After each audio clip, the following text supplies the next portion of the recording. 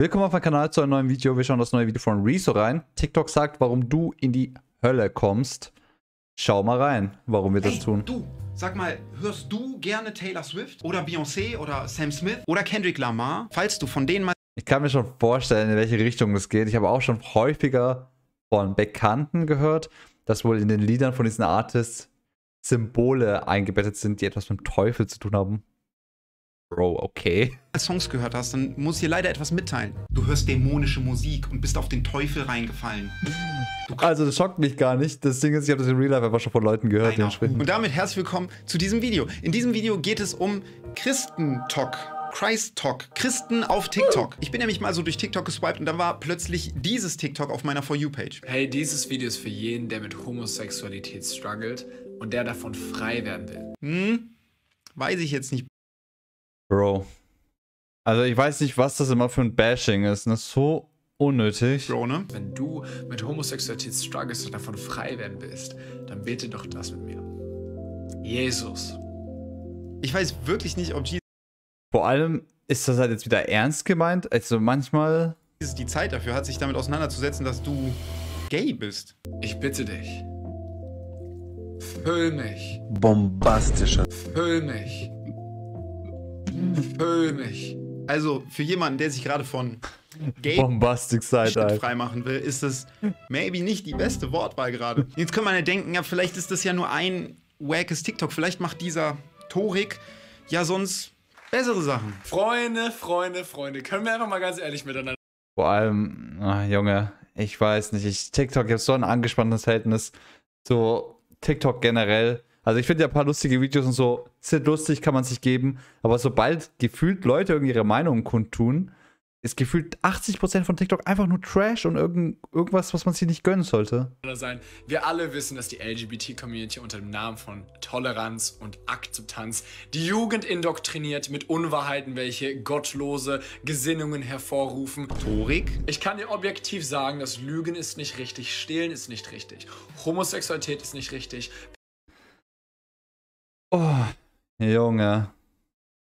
Also er packt diese Bretter hier aus, offenbar absolut widerlich. Pädophilie ist nicht richtig und Juden zu töten ist auch nicht richtig. Digga, wie ist das eskaliert? Also, wa wie, Digga? Er ist auch ein gerechter Gott. Er muss Ungerechtigkeit bestrafen. Er muss Menschen bestrafen wie Hitler. Er muss Menschen bestrafen wie Stalin. Er muss Menschen bestrafen wie dich. Yo, Digga, ich hab gar nichts gemacht. Junge. Warum gibt es so ein Content auf TikTok? Warum? Wie kann ich denn die dritte Person in dieser Aufzählung sein? Ist es wirklich angemessen? Es stimmt halt. Hä? Geh, gehen wir doch noch mal kurz rein. Menschen bestrafen wie dich. Yo, Digga, ich Was habe ich getan? Ist halt, also wenn ich mir so ein TikTok gönne, ist mein Gehirn schon so abgestumpft, dass ich mir denke, was ist das für ein Trash? Und dann swipe ich es weg. Im, im Zweifelsfall kriege ich noch interessiert mich nicht oder blockt diese Person. Aber warum geht das so gegen mich? Vor allem, was will er damit bezwecken? Soll dann jemand das liken und followen oder was? hab gar nichts gemacht. Wie kann ich denn die dritte Person in dieser Aufzählung sein? Ist es wirklich angemessen, dass, dass ich dahin gehöre? Yo, ich, Instant Zuschauer-Bashing. ich äh, mache gerade eine Liste von Leuten, die äh, bestraft werden sollen. Wer, wer fällt dir da ein? Also durch Stalin sind viele Millionen Menschen gestorben. Der sollte auf jeden Fall drauf. Ja, den schreibe ich auf jeden Fall auf. Aber wer sonst noch? Ja, und Adolf fällt mir natürlich direkt ein. Der hat einen Weltkrieg gestartet und literally Einrichtungen gebaut, um möglichst viele unschuldige Menschen zu töten. Ja, okay, der sollte auf jeden Fall auch bestraft werden. Wer fällt dir sonst noch? Und du. Bitte was? Du musst bestraft werden. Bro, so. Wegen deines Homo-Shits. Ey, gucken wir uns einfach mal ein anderes TikTok an. Von wem anders? Es sind ja nicht alle christlichen TikToks. Also, das Ding ist, manchmal wünsche ich mir einfach, dass ich in so einer Simulation lebe und das einfach nur nicht real ist. Aber das ist halt scheinbar einfach real, zumindest das, was ich wahrgenommen habe. Und es gibt wirklich Menschen, die so denken. Und dieses Gedanken, also dies- dieser Gedankengang ist einfach so widerlich, gefährlich und falsch. So, Also da gönne ich mir lieber sowas. sehr kleine Schrift, da steht, Is that what you call men these days? Oh mein Gott, okay, ich habe gar nicht gesehen, dass das so eine kleine Fitzelschrift mit am Start ist. Also ich gönne mir tausendmal lieber Elevator Boys als Christ Talk oder wie das heißt.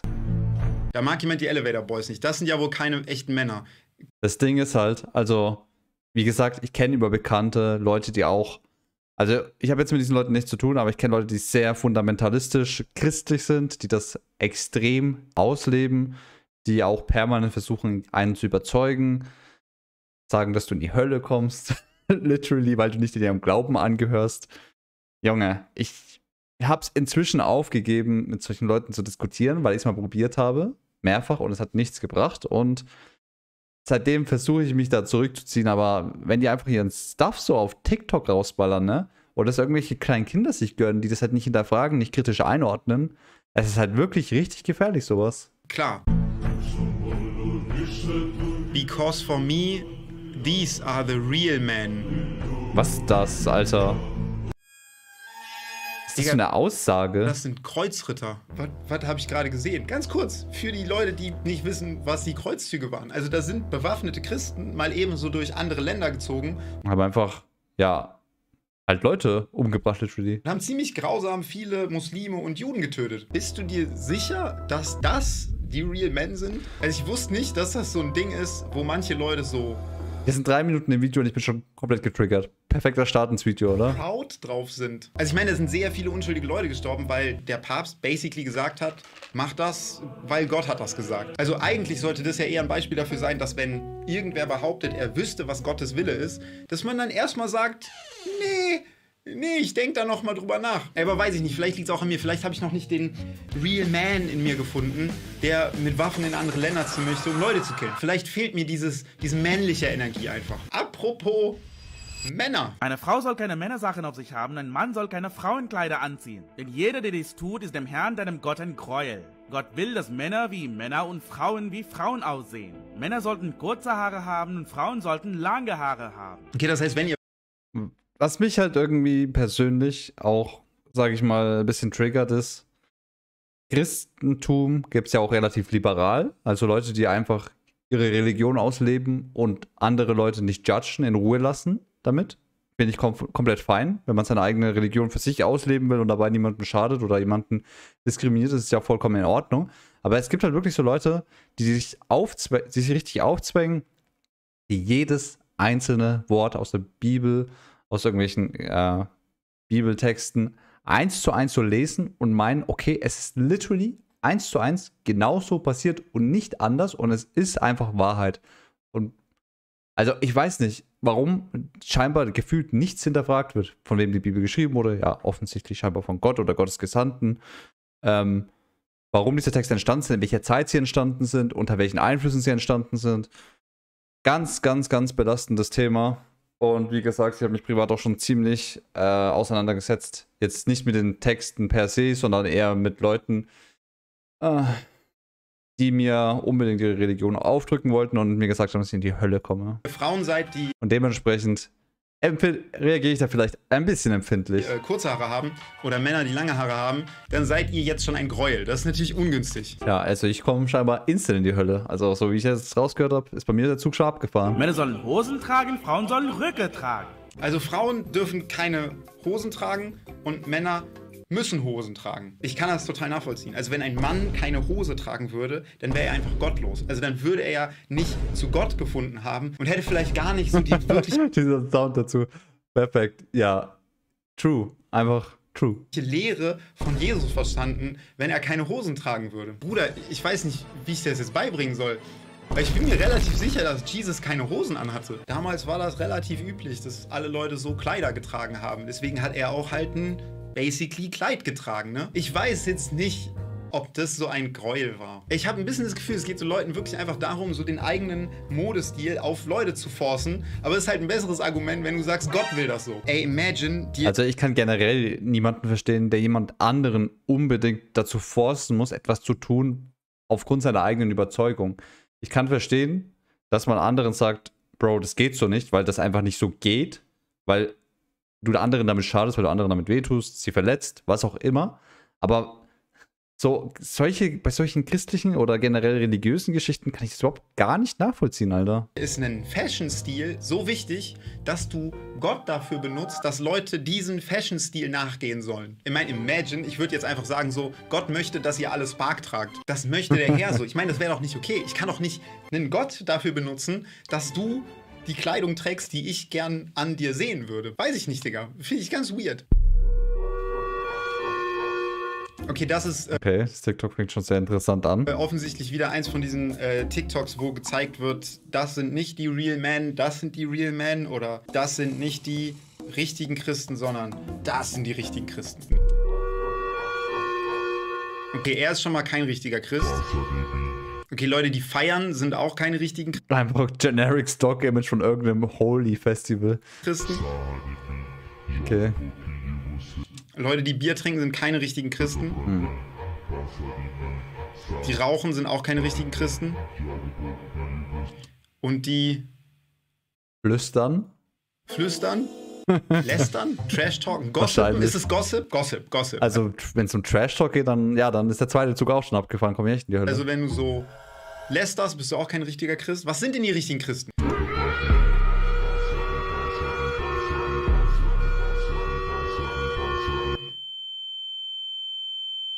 Braucht man Waffen und Flecktarn als Boah. richtiger Christ?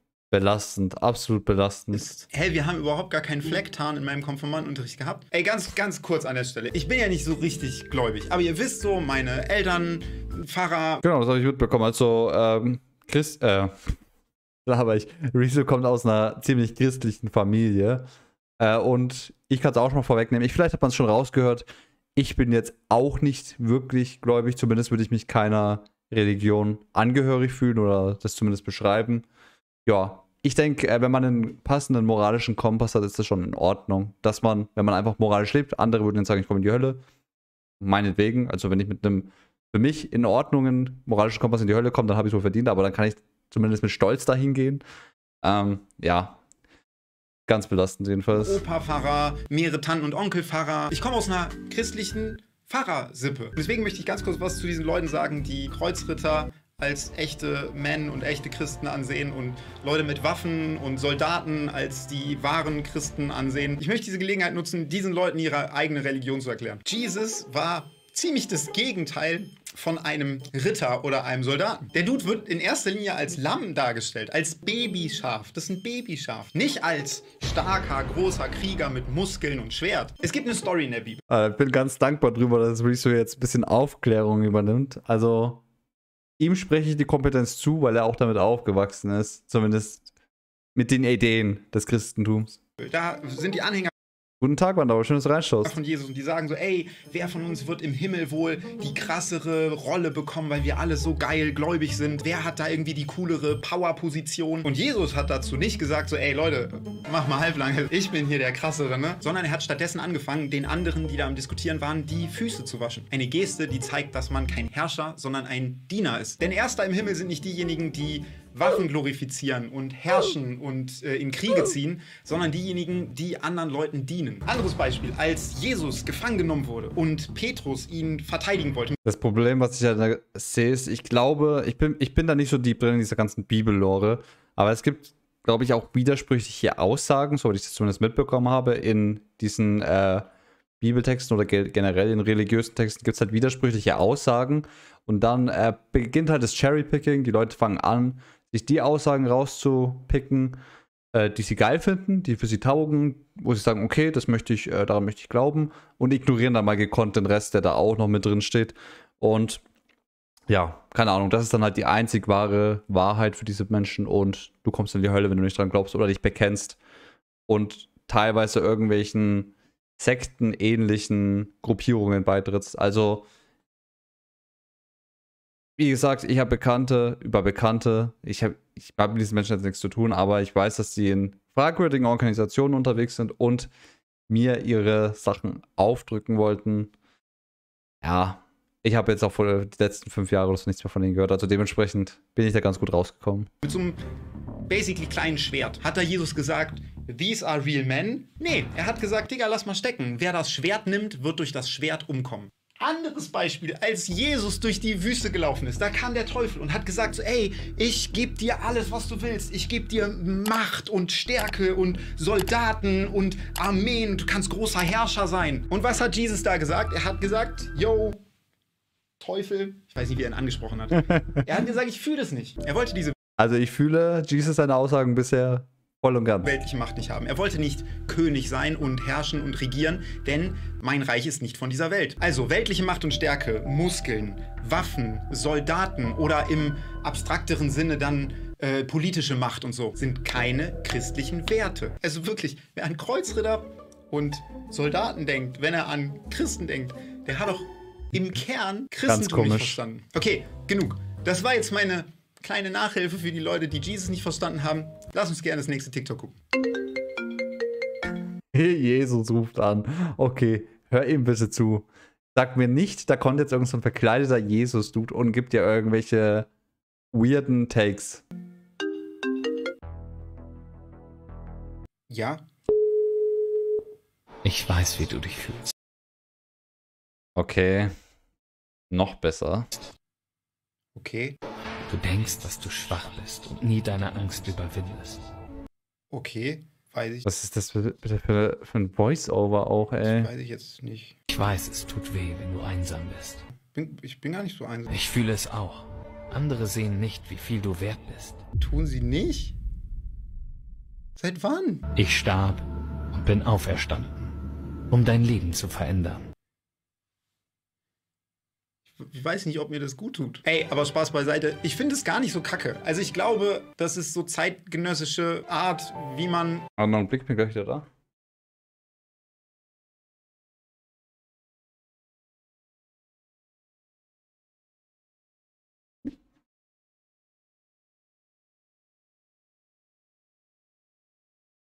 Leuten, denen es vielleicht wirklich nicht so gut So, ge gehen wir nochmal in die Aussagen rein.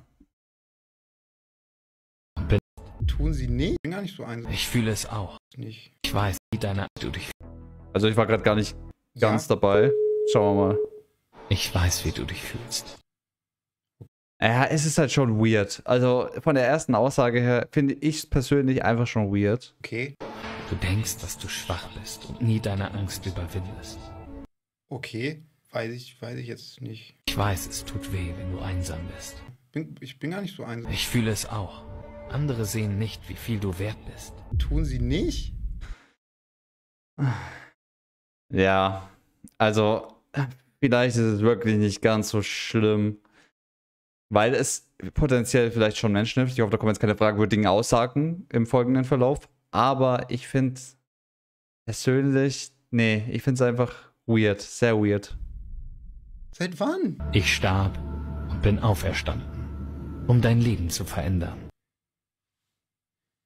Und es ist auch sehr abstrakt irgendwie. Ich weiß nicht, ob mir das gut tut. Ey, aber Spaß beiseite. Ich finde es gar nicht so kacke. Also ich glaube, das ist so zeitgenössische Also es ist besser als das, was ich bisher vorhin gesehen habe. Art, wie man Leuten, denen es vielleicht wirklich nicht so gut geht, Kraft geben kann. Ich glaube, das tut actually Leuten gut. Ich finde es halt nur funny für Leute, die denen es jetzt nicht so schlecht geht, halt dann von Jesus gedisst zu werden. Hat auch was. Okay, gucken wir das nächste TikTok.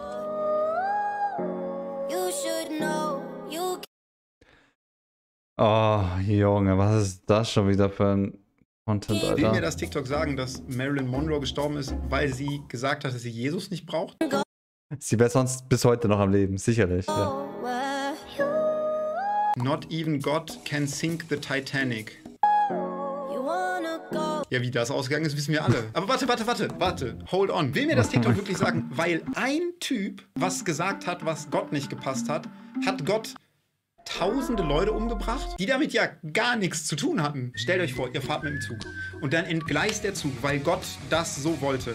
Und dann sterben ganz viele Leute und eure Familie trauert und es sind hunderte Menschen tot, tausende Leben sind zerstört von auch den, den Angehörigen. Es ist ein riesiges Drama. Und dann kommst du in den Himmel und sagst, Gott, warum bin ich gestorben? Und dann sagt er so, Digga, ich habe euch alle gekillt, ist mir voll auf den Sack gegangen. Und dann sagst du, warum? Wa- Was ist dir denn auf den Sack gegangen? Und dann sagt er so, eine Woche vorher hat der Schaffner was gesagt, das hat mir nicht gepasst. Das wäre echt wack, Alter. Was ist das für ein Gottesbild, Digga? Gott hat Mac Miller getötet, weil Ariana Grande was gemacht hat, was ihm nicht gepasst hat. Wirklich? Hä, das ist doch. Also, es nimmt ganz, ganz, ganz, ganz komische Züge an, was die Leute für Schlussfolgerungen ziehen aus dem Nichts. geschmacklos. Also mindestens Mac Miller gegenüber, aber ich finde auch eurem Gott gegenüber. Gott lässt sich nicht spotten? ja, ich hab's auch was gedacht, aber ich meinte wahrscheinlich spotten, oder? Spotten. Ich dachte gerade, dass Gott so Er zeigt sich einfach nicht, er lässt sich nicht spotten. krass ist, dass der im Gym sich nicht spotten lässt. Also spotten so. heißt ja, dass Oh wenn mein Gott, ganz andere Perspektive. Ja gut, äh, als Support-Mensch halt hinter der Handel. du irgendwie Bankdrücken machst, dass jemand von hinten steht und wenn du es nicht mehr schaffst, dann greift er rein und zieht das Gewicht so hoch, damit du nicht erdrückt wirst von dem Gewicht, was du nicht mehr hochkriegst. Aber Gott, der lässt sich nicht spotten. Digga, der geht ins Gym rein, 400 Kilo Bankdrücken die Leute so, ey Gott, sollen wir dich nicht spotten? Und er so, nee, Digga, ihr kennt es, ihr wisst die Regel. Gott lässt sich nicht spotten. Ich, es war nur ein Missverständnis. Er lässt sich nicht spotten. Er tötet tausende Menschen, wenn jemand gespottet hat. Denn wenn du spottest, tötet er dich, deinen Boyfriend oder tausende Leute, die mit dir auf einem Schiff sind. Klingt nach einem entspannten Guy so, ne? Wie gut kennst du das Christentum? Part 1. Digga, ich bin on Okay, schauen wir mal. fire. In welchem Okay, nee, da bin ich komplett raus. Keine Ahnung. Ich sag mal 30. Alter ist Jesus am Kreuz gestorben? 30, 39 oder 33? Ich sag 33. 39 ist zu alt und 30 Ja, ich glaube, früher ist man einfach nicht so alt geworden. Ich hoffe, dass es eine legitte Auflösung gibt. ist zu glatt. Ja, stimmt mit der Argumentation Research recht. Digga, Jesus am Start. Welcher der Jünger hat Jesus verraten? Ja. B, oder? A. Petrus, B. Judas, C. Matthäus. Ist klar. Judas, Digga. Judas. Ey, aber sowas Strong. sind doch auch harmlose TikToks. Das kann man noch mehr machen. Einfach so ein Ja, das fand ich in Ordnung. Also, wenn da danach keine fragwürdige Aussage kommt. kleines, nettes Quiz nebenher. Das tut doch niemandem weh. Das ist doch nicht asozial. Guck mal, da wurde auch gar nicht jetzt Leuten eingeredet, dass das, was die in ihrer Freizeit machen, irgendwie schlecht oder sündevoll ist. So wie in unserem nächsten Beispiel. es Oh gibt hier nämlich nein. eine, die hat keinen Bock auf, ich sag mal, dämonische Sachen. Und die klärt halt dann auch darüber auf, was die dämonischen Sachen so sind. Also hier sind gängige Dinge, die Dämonen die Türen öffnen. That's a hard pass. Absolutely not. Also wir haben dabei Sex vor der Ehe. Es wird einfach irgendwas. Ah, es, die Leute, ich habe das Gefühl, die wollen sich das Recht rausnehmen, anderen Leuten zu diktieren, was richtig ist und was nicht. Und ich verstehe nicht, warum man nicht einfach die Leute machen lässt, wie sie Bock haben. Angeblich, um dich zu retten, angeblich zu, dich vor der Hölle zu wahren. Aber Bro, es juckt mich nicht. Lass mich einfach in Ruhe mit deinen komischen, komischen Ansichten, wie ich zu leben habe. Klassiker. Aber auch Horoskope und Sternzeichen. Auch eine Ma Junge, Manifestation von deinem höheren Ich und Junge. Warum sind Horoskope und Sternzeichen? Warum, warum ist das so schlimm? Warum muss man das Leuten verbieten? Manifestation von deinem höheren Ich. Oder sie ihnen zumindest schlecht reden und sagen, du bist von Dämonen besessen.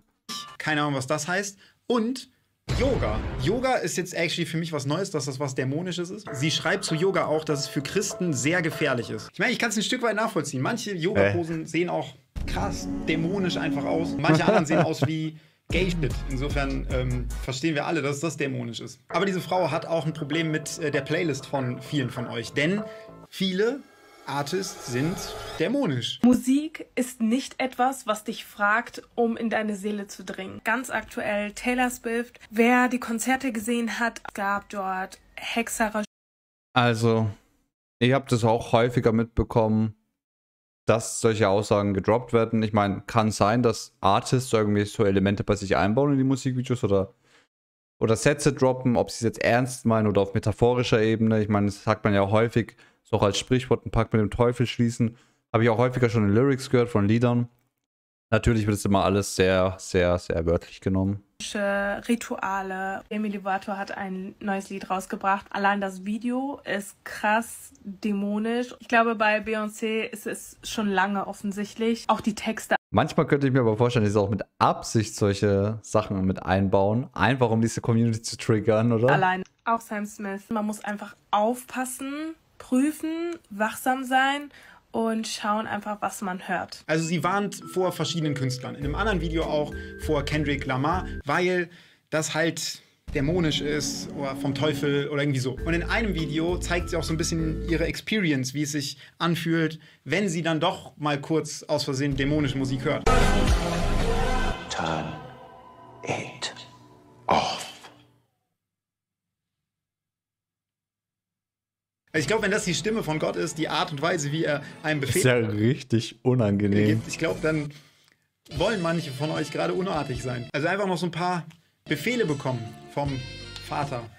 Oder soll ich sagen, Daddy? Also ich habe mir die Stimme von Gott irgendwie anders vorgestellt. Irgendwie so beruhigender, irgendwie so Ja. chilliger. Aber was weiß ich schon. Ich höre auch dämonische Musik. Das Hat sich eher nach einem Dämonen angehört, die Stimme. Ding ist, ich nehme sie gerade gar nicht in das Video mit rein, weil sie anderen Leuten sagt, dass Taylor Swift vom Teufel ist. Ich bin stattdessen auf sie aufmerksam geworden, weil sie die Gays auch nicht so nice findet. Hat Gott wirklich gesagt, dass Homosexualität eine Sünde ist?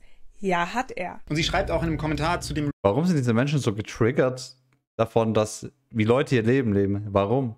Real, äh, dass es halt eine Sünde ist und es bleibt eine Sünde, es hat nichts mit Nächstenliebe zu tun. Äh, homosexuell sein ist eine Sünde und klar eine Lüge des Das ist jetzt halt einfach ein Beweis dafür, dass man so leben muss. Teufels. Und das Ding ist, als ich in diese Christen, TikTok, Real, Instagram-Bubble so ein bisschen reingedippt bin, habe ich das viel zu oft gesehen. Also verachtenswerte Aussagen gegenüber Leuten, die halt nicht hetero sind. Die biblischen Werte sagen, Sex gehört exklusiv in die Ehe von Mann und Frau und nur in eine Ehe von Mann und Frau. Also die Frage ist LGBT. Ich finde es gefährlich, dass Menschen einfach sich so eine Reichweite gönnen können auf einer Plattform wie TikTok und es an eine extrem unkritische Zuschauerschaft weiterverbreiten können. Also ich kann mir sehr gut vorstellen, dass auf TikTok die, der, das Durchschnittsalter relativ gering ist. Wenn man jung ist, hat man dieses kritische Denken in der Regel noch nicht. Also würde ich jetzt mal so behaupten. Und hinterfragt vielleicht Dinge nicht, nimmt Sachen einfach so auf, ohne sie zu hinterfragen, lebt danach. Ja, keine Ahnung. Also, weiß auch nicht, was man da machen soll. Wirklich so eine richtig geile Lösung dafür gibt es halt nicht, aber umso wichtiger ist es, dass es so Aufklärung gibt, wie von Rezo jetzt in diesem Fall. Vor allem, dass so ein großer Content Creator mal ein Video dazu macht. LGBTQ verboten? Ja. Du musst einfach bekennen, dass du ein Sünder bist. Also, ich kann mit solchen Menschen überhaupt gar nichts anfangen. Absolut schlimm. Und einfach damit aufhören, schwul oder lesbisch oder bisexuell zu leben. Ja, hör einfach auf damit. Bro, diese Aussagen, Alter. Die letzten beiden Clips habe ich zensiert, weil beide relativ jung aussahen. Der Typ sogar irgendwie wie 13 oder so. Deswegen will ich da jetzt noch nicht zu krass fronten, weil ich glaube, der checkt gar nicht wirklich, Das checkt wirklich. Also, ah, Junge. was er da sagt. In manchen TikToks wird auch Christen das Christsein aberkannt, wenn sie nicht gegen LGBTQIA sind. Und es gibt TikToks, die fangen gut an, Gott will, dass Schwule in die Kirche kommen. nur um dann zu sagen, yo, die sollen nur zu Gott kommen, damit Gott sie von ihrem sündhaften Homo-Shit befreien kann. Und sie müssen mit diesem Leben so aufhören. Denn im Himmel ist kein Platz für Sünde. Und ich fand es actually krass, so viele Videos zu sehen, die einfach so krass dagegen haten. Ich wusste nicht, dass das Ich verstehe es auch überhaupt gar nicht. Also, ich verstehe es überhaupt gar nicht, dass, dass Leute sich so das Recht rausnehmen, solche Sachen zu droppen. so weit verbreitet ist. Vielleicht liegt es daran, dass ich eher in einem christlichen Umfeld aufgewachsen bin, der aufgeklärter und progressiver ist oder so. Ich fand es halt wirklich krass, weil ich viel mehr solche TikToks gesehen habe als gegenteilige TikToks. Die gibt es zwar auch, die existieren, aber ich habe die persönlich viel seltener gesehen als diese Kann ich mir schon gut vorstellen. Vor allem, weil so provokativer, kontroverser Content halt einfach für den Algorithmus viel besser ist. Vor allem, wenn die Leute ihre eigene Haltung, ihre eigenen Wertevorstellungen aufdrücken, aber sie als Tatsachen hinstellen, sodass du das dann vielleicht likest, weil du denkst, okay, der hört sich jetzt schon überzeugt an von seinen Aussagen, speichere ich mir mal ab, damit ich es mir mal gönnen kann, gibst ein Like und dann pusht der Algorithmus, das wird weiter ausgespielt.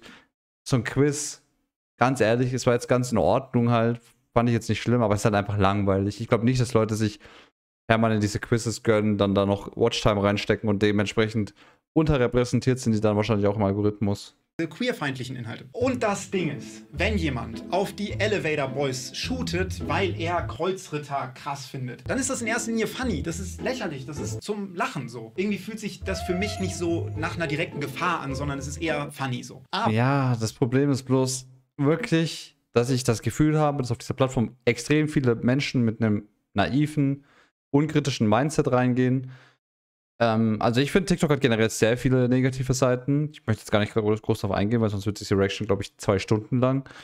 Ähm, aber ich sehe da wirklich eine große Gefahr drin, vor allem auch bei, bei Wertevorstellungen, die halt wirklich menschenverachtend sind. Beispielsweise haben wir auch schon in der Vergangenheit ein paar Sachen gesehen, die dann so ungefiltert an eine besonders junge Zuschauerschaft auch rausgehen, einfach an unkontrolliert an irgendwelche Leute rausgehen, an junge Leute, Leute, die das vielleicht nicht richtig verarbeiten können.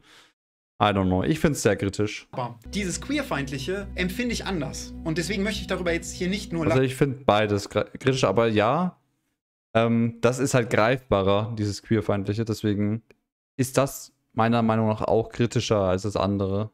Weil verschiedene Befragungen zeigen immer und immer wieder, dass auch in Deutschland viele Millionen Menschen Homosexualität nicht okay finden. Und die Straftaten gegen queere Menschen steigt an. Also nicht jetzt so einmal in einem Jahr oder so, sondern wirklich relativ konstant über viele Jahre auch die Gewaltdelikte. Und vor diesem Hintergrund, in so einer Welt, dann einfach so leichtfertig TikToks zu machen, wo man sagt, dass äh, so Homosexualität ja eine Sünde ist und vom Teufel eine Lüge und die sollen in die Hölle kommen, weil sie da leiden sollen und die sollen bestraft werden, so wie Hitler und Stalin und die sind nicht okay, wie sie sind und Das müssen ist so belastend, ne, wenn man das so Revue passiert. Das ist anders werden. schlimm.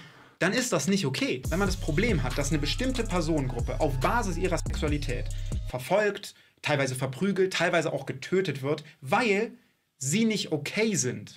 Und man dann sagt, die sind nicht okay wegen ihrer Also ich verstehe bis heute nicht, warum, warum Menschen überhaupt davon getriggert sind, dass andere Menschen ihr Leben so leben, wie sie es halt leben wollen. Warum ist man da persönlich so angegriffen, getriggert, dass man da aggress so aggressiv reingehen muss? Sexualität, die sind nicht okay, wie sie sind, dann ist das fucked up. Das ist nicht, oh, eigene Wertevorstellung, das ist nicht tolerierbar. Denn Intoleranz darf nicht toleriert werden, sonst stirbt die Toleranz. Kennt ihr. Und an dieser Stelle habe ich auch gar keinen Konter aus der Bibel. Vorhin konnte ich noch sagen, so, yo, Kreuzzüge ist nicht in Jesus Sinne gewesen, so kann man alles super belegen, easy. Das Ding ist, Queerfeindlichkeit kann man easy aus der Bibel ableiten. Manche leiten das direkt so aus der Schöpfungsgeschichte ab, weil Adam und Eva ja die Welt bevölkern sollten, Mann und Frau sollen zusammen Kinder bekommen. Aber es gibt auch Stellen, da steht das viel direkter drin. Da steht zum Beispiel drin, dass das eine Sünde ist und diese Leute getötet werden sollen. Das Ding ist, Wisst ihr, wer sonst noch in der Bibel Sünder ist und getötet werden soll? Leute, die Wahrsager abfeiern, deswegen das mit den Horoskopen und Sternzeichen, die sollen erstmal ausgerottet werden. Leute, die fremdgegangen sind,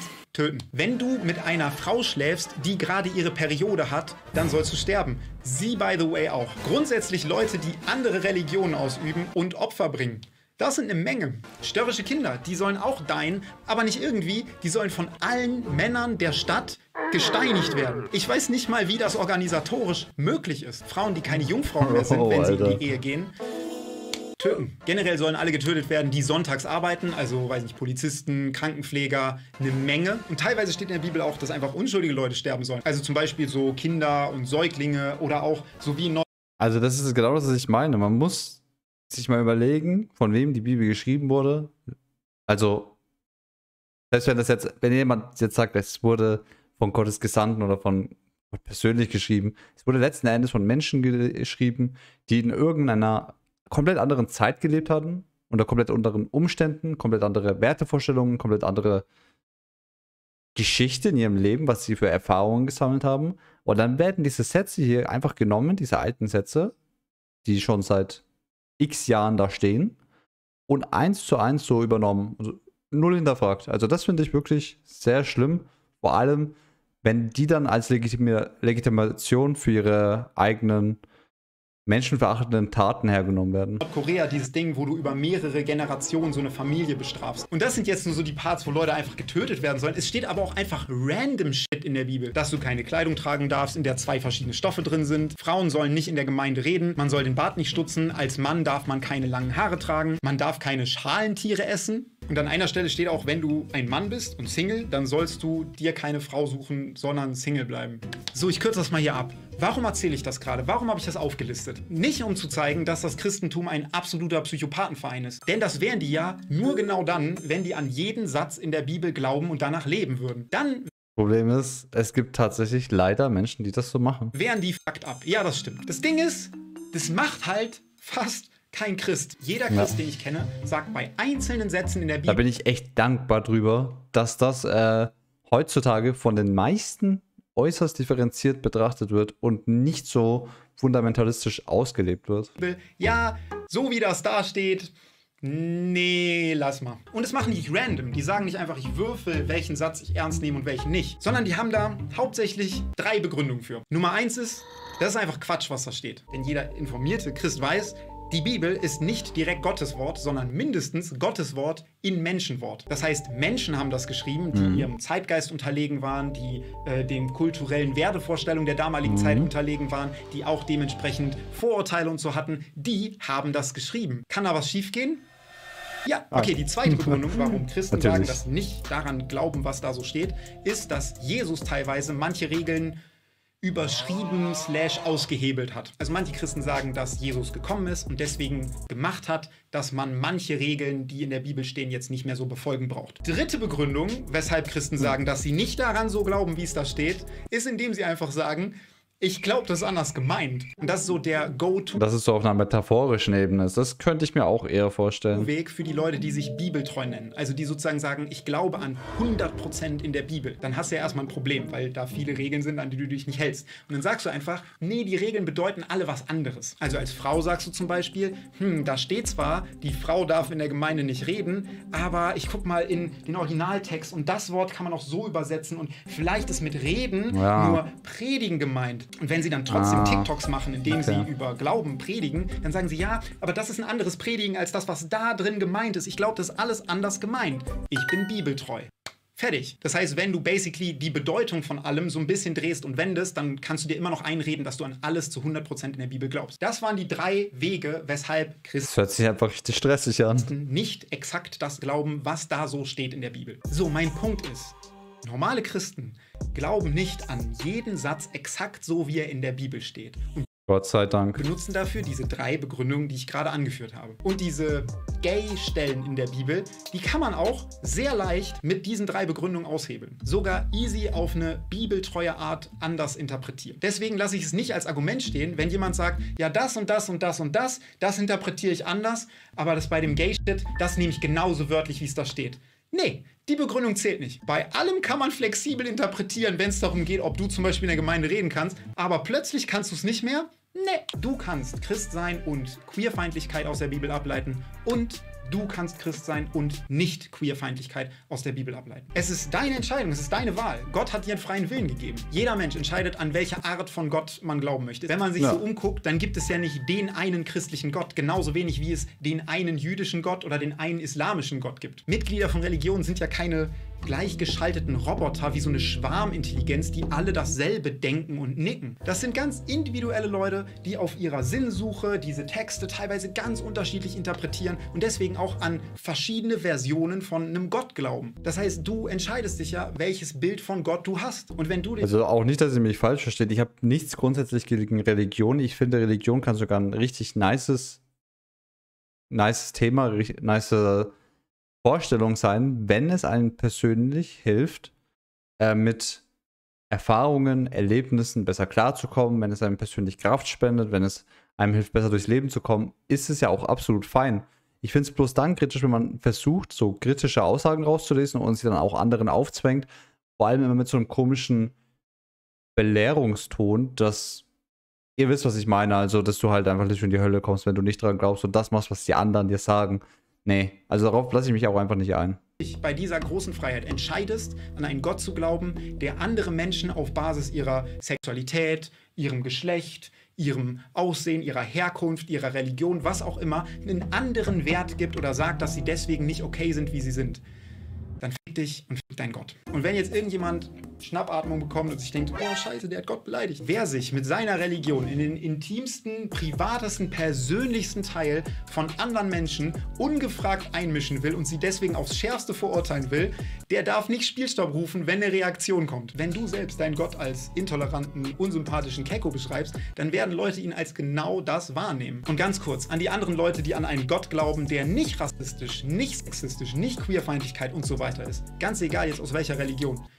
Schön, dass es euch gibt. Und das Ding ist, die gibt es ja auch. Als ich in dieser Muss man appreciaten an der Stelle. Christen-TikTok-Bubble unterwegs war, habe ich auch viele davon gesehen, die einfach positiv ihren Glauben feiern. Und es gibt so vieles Nices, worauf man sich fokussieren kann. Christliche Songs sind teilweise krasse Banger. Und wenn die dann auf TikTok gezeigt werden, teilweise viral gehen, weil es einfach einen niceen Vibe hat, dann ist das doch was Schönes. Oder es gibt Leute, die über persönliche Themen reden, so wie Dating als Christ und das ist doch auch nice. Oder die lustige christliche Sketche machen, weil man das halt auf TikTok so macht. Oder die, weiß ich nicht, eine Quizshow machen oder die irgendwie so Call mit Jesus machen oder so. Das sind doch alles coole Sachen, wie man irgendwie in der heutigen Zeit Mhm. Christentum Leuten näher bringen kann. Oder schließlich auch einfach Leute, die von ihren eigenen Erfahrungen mit ihrem Glauben und mit ihrer Religion sprechen. Das ist doch was Schönes. Und wie vorhin gesagt, gibt es natürlich auch Christen, die sich ganz klar gegen Queerfeindlichkeit aussprechen. Ich habe davon, finde ich, leider zu wenig gefunden, aber es gibt sie. Und ich finde, so Content bringt doch viel mehr. Religion sollte doch Auf was sein, Fall. wo man irgendwie bei der eigenen Sinnsuche weiterkommt im Leben, wo man irgendwie Glück Es findet. sollte einfach persönlich einem weiterbringen für seine persönliche Entwicklung, für sein persönliches Wohlempfinden. Und wenn es einen glücklich macht, dann ist es ja auch absolut fein. Wirklich.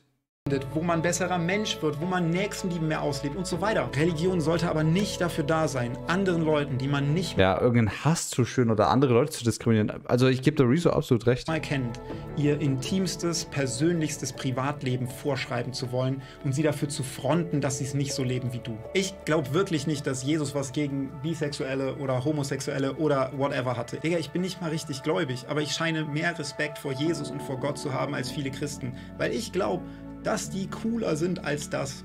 Gott segne euch. Bis dann. Also ich fand, das war ein sehr gutes Video von Rezo. Äh, eigentlich stimme ich auch mit fa- fast eigentlich allem überein, was er gesagt hat. Also ich, mir ist jetzt nichts im Kopf geblieben, wo ich widersprechen würde. Ähm, lasst ihm auf jeden Fall den kostenlosen Abo auf YouTube da. Lasst mir auch gerne ein kostenloses Abo auf YouTube da und einen kostenlosen Follow auf Twitch. Würde mich sehr freuen.